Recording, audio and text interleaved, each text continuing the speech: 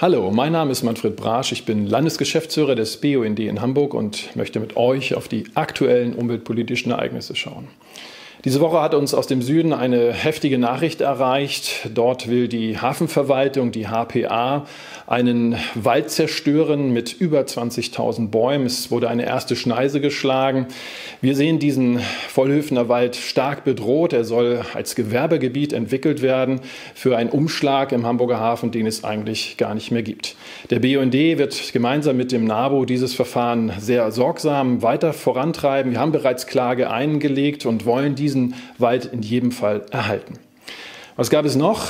Ähm, Airbus ist natürlich ein zentrales Thema in diesen Tagen.